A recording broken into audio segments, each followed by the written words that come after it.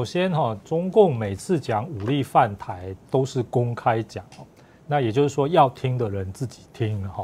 那他们的传统立场向来是世界上只有一个中国啊，台湾是中国的一部分，中国的领土及主权不容分割。所以呢，他通过了所谓反分裂国家法，就是不排除、不承诺。不以武力解决台湾问题。对，既然不承诺放弃武力犯台的话呢，那他当然就有对台军事的准备。我想这一点大家也都非常清楚。那在这个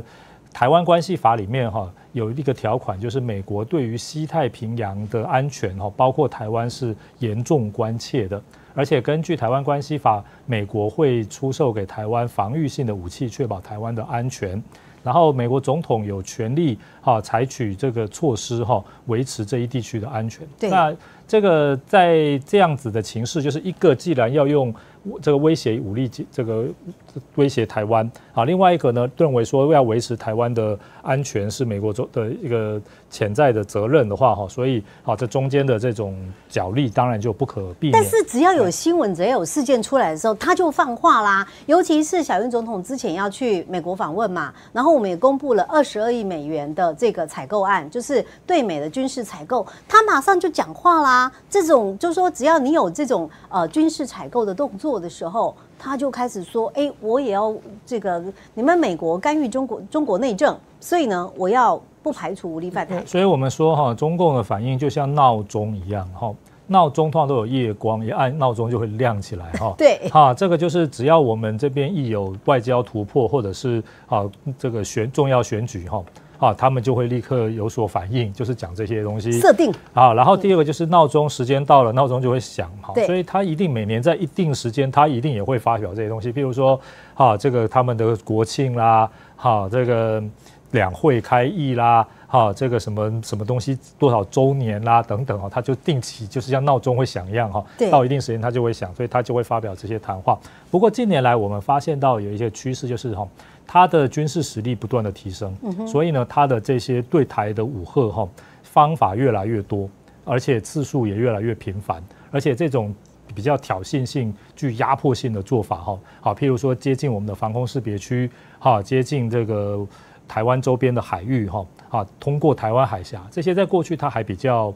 保守、比较审慎，啊，比较节制。目前次数也越来越多，现在都公开的。对，而且所以现在美国呢，他也强调要维持台湾海峡的航行自由哈。他目前为了这个政治上的一些因素啊，他还没有直接说他会协防台湾，但是他强调就是要维持这一地区的和平稳定啊。这其实就是协防台湾的一种比较委婉的说法。然后呢，又说要维持台湾海峡的航行自由，所以他就经常会出动啊这个舰军舰哈啊通过台湾海峡。台湾定期会举行选举，哈啊，所以呢，想要影响台湾内部的选举，哈，也是中方政经的战略的之一，哈。对，啊，这个当然他强调就是这个不排除以武力犯台，哈，好是威胁台湾不要走向台湾独立，好，另外一方面，他当然也在台湾内部培养这个亲中的势力，哈，因为武力犯台毕竟所耗的成本，哈，不可知的变数都是相当多的。因此呢，最好能够让台湾哈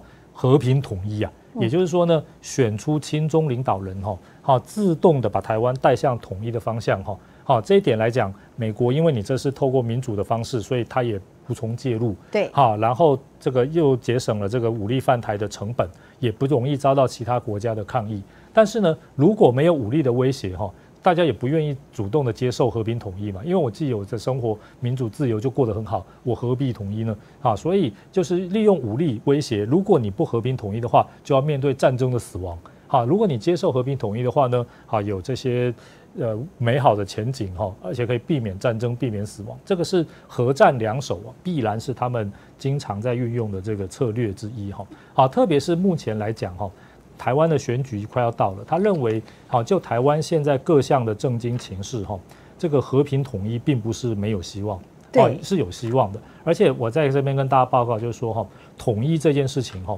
并不是说哪一任的总统，哈，哪一天早上宣布，啊，台湾要跟中国大陆统一，嗯，好，不是这样，统一是一个拼图的概念。好，大家如果都玩过那个拼图，就知道拼图有五百片、一千片就是好一片一片把它拼起来，最后那整个画面就完成了。所以你认为这个叫水到渠成？对，统一就是一件事情一件事情慢慢的做，啊，让你台湾对中国大陆的依赖越来越多，然后这个这个台湾内部亲中的势力越来越强，好，然后你对它文化上、经济上的各种认同，好，越来越密切，好，然后对这个。就是拼图一块一块的拼成，最后整个画面就图面就完成了。是，纵使只少一两块没有拼哈，好，那还是无补于整个图面的完整性。好，不是一时之间就宣布，而是一个渐进的过程。啊，所以在在这个渐进的过程当中呢，武力的威胁，他也要吓你一下。对，每虽然就是和平统一是他的目标，对都是他必须用到，也是会经常用到的手段之一。是，像譬如说，有人说他这个军机绕台，哈，这个军舰，哈，这个。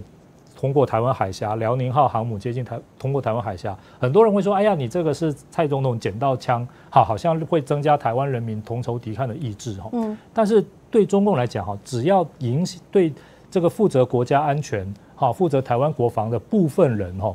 会能够受到影响。那这些人对台湾国防、对台湾安全的这种影响力跟重要性，哈，可能是不成比例的。对。好，所以我们就看到说，台湾有很多哈退役的将领就会跑到中国大陆去。好，发表很多言论，没错啊。那这些吴思怀啊，什么这些人，虽然在台湾人口比例占的是极少数，但是呢，真正在讲到国防、讲到国安的时候，这些人所发挥的重要性，可能比不知道相当于一般的，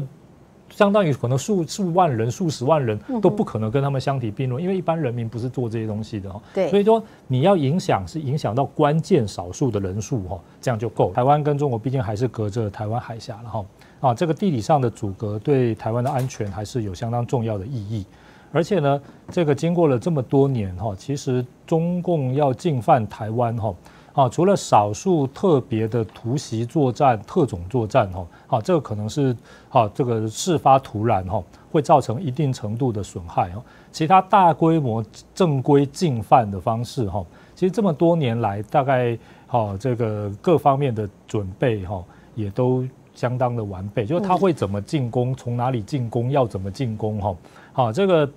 只要是动用的部队一大，哈，你还是会受到许多客观的因素的限制，所以也不是这么难预料的哈，你比如说你要登陆，好，能够在哪里登陆，好，那空降能够在哪里空降，然后对岸的港口能够吞吐装载的数量，好，一次有多少，好，台湾海峡的潮汐，好，水洋流各个方面的状况，其实这个都我们是可以预期的，也就是说呢。好，这个就纯粹就硬体来讲哈，国军所有的武器装备只要发挥正常的功能，就是依照它原先的设计哈，好，这个按照计划发挥正常的功能哈，那么台湾的安全并没有这么脆弱。是，但是我们上次熊山不是你记不记得有一次雾色嘛？最大的问题哈，其实都不是硬体装备的问题，而是人的问题哈。是。那台湾安全最大的问题就是如果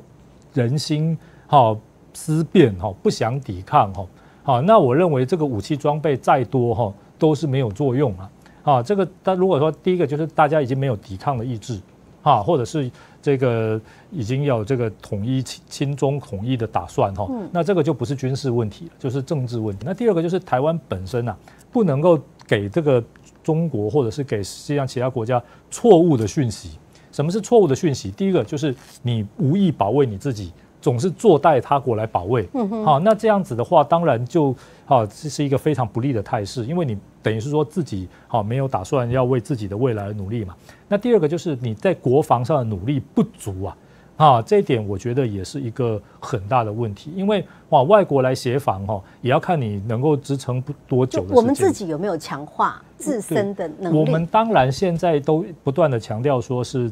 在强化国防，可是呢，我必须要跟大家报告，就是说，至少在这几年哈，这个我们的国防预算哈，好，似乎在这个编列上来讲，还可以增加宽列，因为军事是一个非常花钱的东西哈。对。好，面对中共的武力威胁哈，好，其实这个在国防资源的投入上，我们还是不太足够哈。是好，虽然这个现在蔡总统强调说我们的预算是平衡预算哈，好表示政府财政纪律是不错的哈，但也代表说其实我们也还是有继续增加国防预算的空间的。好，因为如果说现在赤字非常严重，你当然就没这个能力嘛。可是现在来讲，既然预算能平衡，基于台湾这种迫切的威胁，我们宽列国防预算哦，我认为这个是必要之恶好，这个是没办法，这个。这个必须要花这个钱，可是这一点我们这几年来可能民意的要求也好，社会的舆论也好，这方面是相对比较没有被那么重视了哈。那第三个就是我们自己啊，对于这种国防机密哈，好不能够是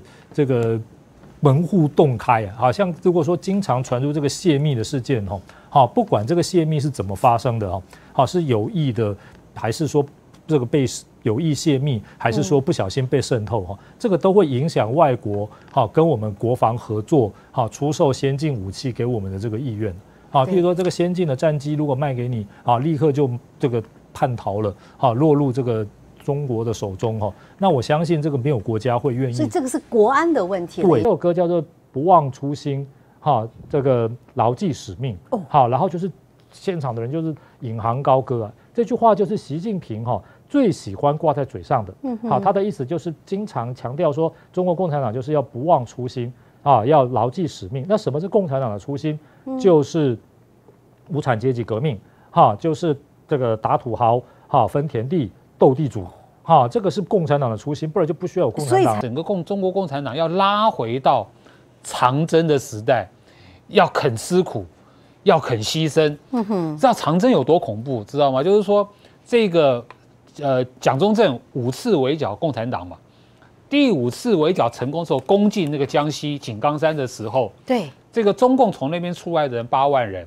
然后一路这样子跑到这个陕呃那个陕西的延安啊，就一万五千公里，还跑来跑去啊，来回跑嘛，一万五千公里，到达目标的时候是剩六千人，嗯哼，那很可怕，就死了一堆，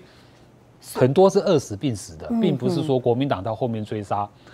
所以要回到那个痛苦的年代，这是这会让整个中国大陆的人民都想不通的。呃，把这个所谓的按照中共的话哈，把这种不稳的因素、不稳的人呢，在萌芽状态就把它消除了。嗯哼。好，